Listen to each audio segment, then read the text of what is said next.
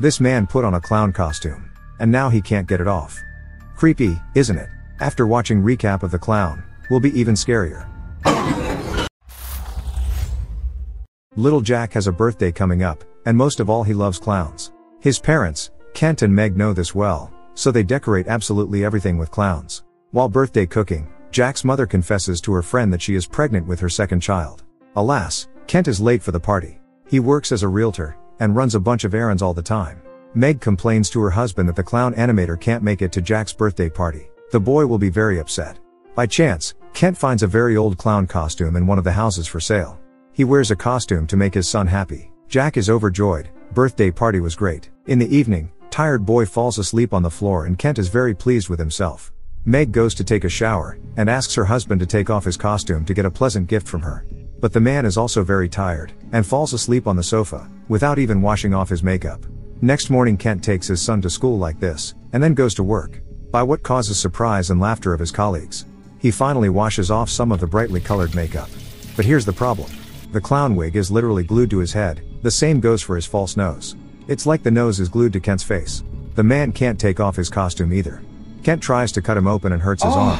He takes a stronger instrument, and continues to try to get out of this strange clown suit. But this plan also does not work, the electric knife breaks, and the suit remains absolutely intact. Kent returns home and complains to his wife, that there's no way he can get rid of that damn wig, nose and suit.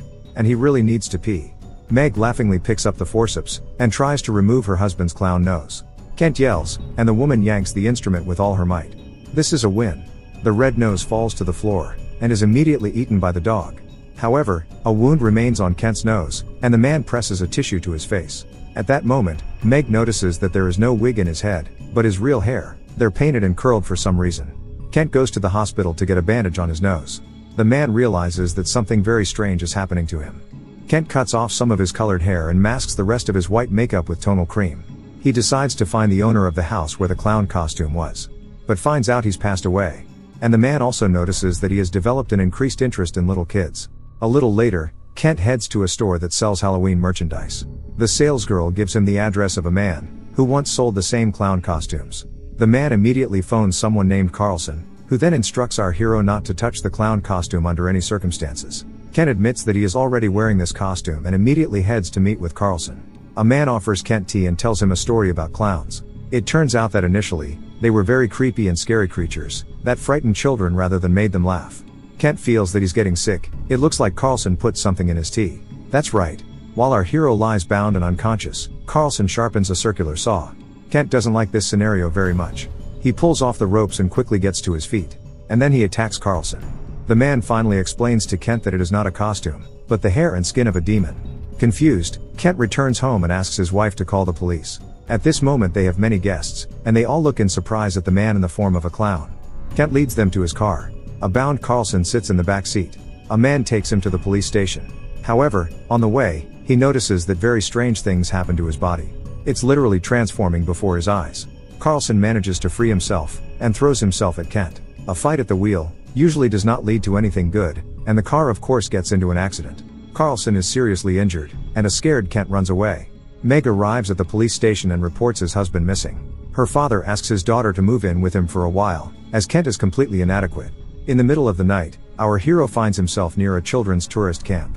One of the boys is required to wash a dirty plate left by the fire. By a tree, the kid notices Kent. The man asks the boy to bring him some food. Kind guy hands him a bag of cookies, but it looks like his hand is tastier to Kent than a cookie. The boy runs off screaming into the woods. A new day comes. Meg studies the book Kent took from Carlson, and realizes that clowns aren't so funny and harmless. Our hero at this time notices new changes in his appearance, which makes him vomit in a public restroom. He shuts himself in one of the booths, and hears a group of kids come inside. One of the boys sees him and screams fearfully, causing Kent to immediately run away. Alas, as a clown the kids like him too much, and another boy, Robbie, approaches him in the street. Kent of the latter restrains himself from attacking him, and hides in one of the houses on sale. He screams desperately, wrapping his arms around his head. In the evening, Meg and Jack notice that their dog has been acting strangely since he ate the clown's nose. Kent calls his wife and says goodbye to her, and then tries to go to the to another universe with a gun. Colorful splatters appear on the wall, but the man himself survives. After he heads to the construction store for a circular saw, Meg sets out to find her husband in all the houses where he worked as a realtor. At the same time, Kent himself is building a device that would allow him to travel to another world. The circular saw should do it. However, a man lacks the courage to take this desperate step, and on the third attempt, he falls next to his homemade guillotine. At that moment, the very same boy Robbie walks into the house, and there is a very unpleasant surprise waiting for him. Kent is very upset, and at the same time, very hungry. Well, that's it. Soon Meg pulls up to the same house.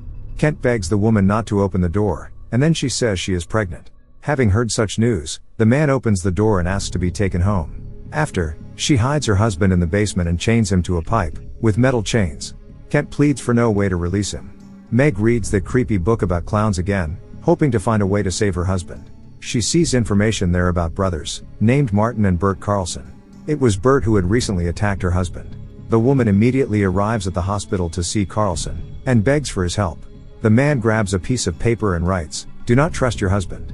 After hearing nothing useful from Carlson, Meg goes to the very house where Kent found the ill-fated clown costume. There she finds a wheelchair for mental patients, and a video camera. The old footage shows a creepy clown looking like a demon. At this time, little Jack is teased by school bullies, and the boy runs home in hysterics. He hears his dad's voice from the basement and goes down to him. Jack complains to his father about school bullies, and Kent asks his son to bring him a bolt cutter. Oops, here we go.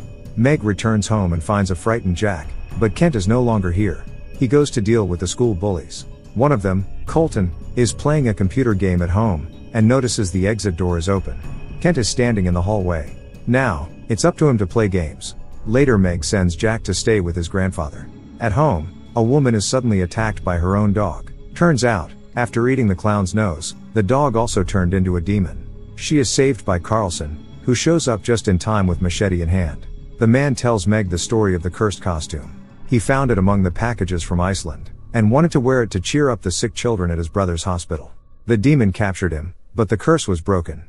To do this, his brother gave the clown five children from the hospital. Jack admits that dad went to see his high school bully, Colton. Meg drops her son off at his grandfather's house, and goes with Carlson to the boy's house. They're late, and they're not very happy about what they see inside. Meanwhile, Kent goes to a children's amusement park. Boys and girls have fun without knowing the danger they all face. Meg and Carlson get there too. A woman walks past amusement rides and slot machines. But Kent's nowhere to be found. Turns out the man is hiding in a giant children's maze. One of the boys climbs there to find his brother, but instead of his brother, there's an unpleasant surprise for him. Panic begins among the children, due to the red liquid on the slide. Everyone runs hysterically out of the park. Carlson and Meg look everywhere for the Kent and find him among the theater sets. The man looks truly horrible. Carlson attacks Kent, but the clown is much stronger. He knocks his rival to the ground and asks his wife to bring him another child. In return, the demon promises to return her husband. If she doesn't, the clown will come after her son, Jack. Meg rushes outside in terror. She's looking around to find some lost kid. One of the girls recognizes Meg and asks the woman for a ride home. Instead, Meg takes a schoolgirl to dinner, you know for who. They stop at some deserted place and the girl gets out of the car. Meg immediately closes the door, and the schoolgirl begins to cry in panic. The shadow of a clown appears behind her back. Unable to stand it, Meg opens the door and begs the girl to get back in the car. At that moment, a policeman appears on the road. The schoolgirl is saved, but Jack is in great danger. Grandpa brings his grandson back home, to have a serious talk with Ken about his behavior. Meg also comes home, and sees a clown attacking her father. The demon asks the woman to bring him another child. Meg grabs the hammer in her hands, and at that moment Jack comes down from the second floor. A real fight for survival begins between the clown and Meg. A clown with appetite reaches for her belly. Jack tries to run away, the clown goes after him. However, he is attacked from behind by a wounded Meg. After another fight, the woman ends up on the floor and Kent continues his search for Jack. However, he can't get the boy out of the locked closet. Then he breaks the wooden planks and is about to grab Jack.